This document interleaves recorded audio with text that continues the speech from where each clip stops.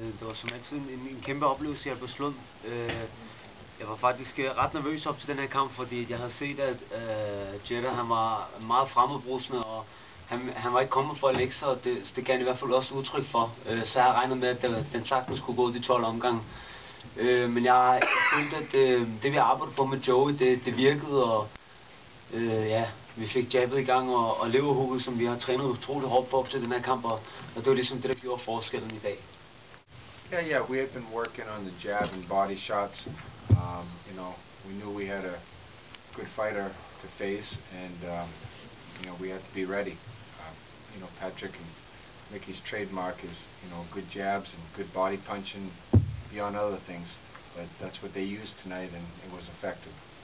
Um, you know, I think uh, it couldn't have gone any better for Patrick.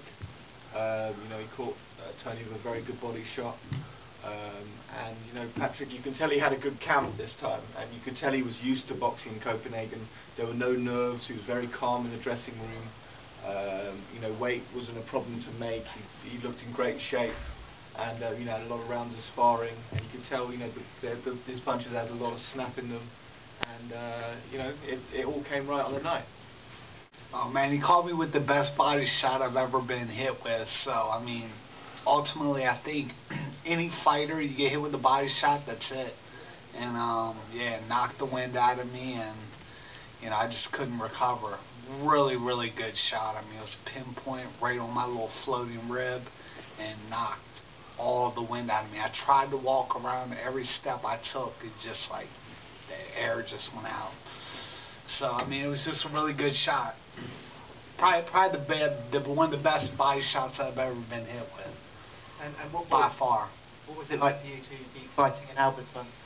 I mean, I I think ultimately I knew it was going to be, you know, his hometown, so I was sort of expecting it to be like that. Um, I just got called with a really good shot. I mean, he he's obviously a good fighter. I mean, he's 22 and 0 now.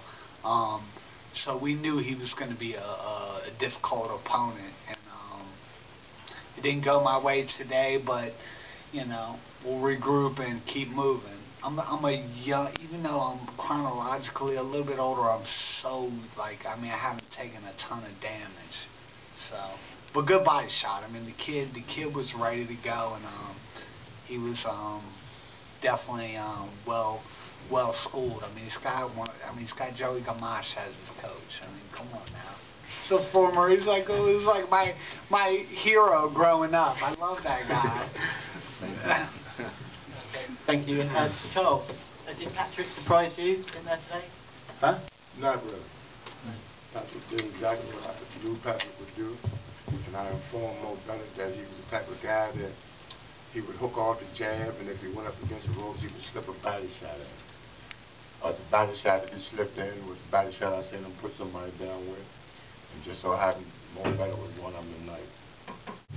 Well, um, you know, I think you know uh, we fought a top-ranked opponent tonight. You know, um, I'd like to, you know, you just said, you know, it was a it was a body shot which which could put anyone down. You know, uh, there's no shame in that. You know, um, moving forward, I've said before, you know, we've always talked about well, this one's next, and you know, the silver belt next, and you know, make no mistake, Patrick Nielsen has arrived tonight. You know, this is uh, his, his statement. You know, the way he, he went about things tonight, um, you know, it was unbelievable. You know, uh, and I think that the, the next step, of course, is you know, is, is, is to turn this into gold. You know, and um, you know, we're there, we're there in discussions already for a fight in in May, um, where we uh, hope to have a, a, a good name. You know, we're talking uh, at the moment to Don King, and uh,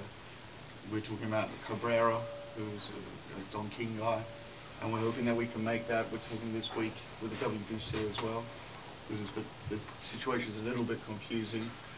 Um, but that's, uh, you know, so it's going to be a busy week for my brother and me. You know, we'll, we'll work out what we can, how quickly we can put things together. Jamen, øh, det var rigtig fedt, og jeg slog hånden lidt, men øh, tingene gik stadig rigtig godt for mig, og det hele kørte, og så er jeg bare tilfreds. Um, well, Micki hurt his uh, hand in the early rounds. I think it was in the first or second round. He hurt his left hand, um, so he was one hand Micki tonight.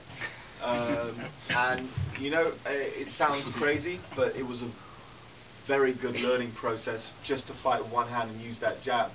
And he, I could actually see him almost learning in the fight. You know, he was he was he got caught with a couple of jabs, but then he started closing up on those jabs and blocking them, parrying them, and um, you know he bossed the guy around and could have stopped him for just using one hand. So impressive. Did his 10 rounds, and um, you know he he could have done 12 rounds tonight, no problem. Great shape. I feel just just add to that. I mean, for a 20 year old to go 10 rounds with a composure, having lost your your your, your your power hand, so to speak, is obviously southpaw. Um, that for me is uh, signs of you know where where Micki is at, and that he's he's well well ahead of uh, where his age is. You know, he's 20 years old. Unbelievable.